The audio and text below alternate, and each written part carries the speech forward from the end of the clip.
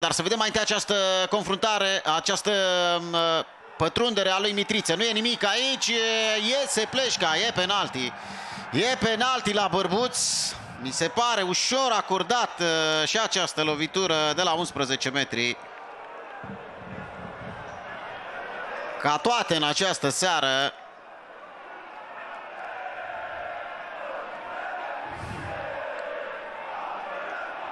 E un contact. Marius Constantin, da, nu dă, nu atinge mingea aici, se vede mai bine.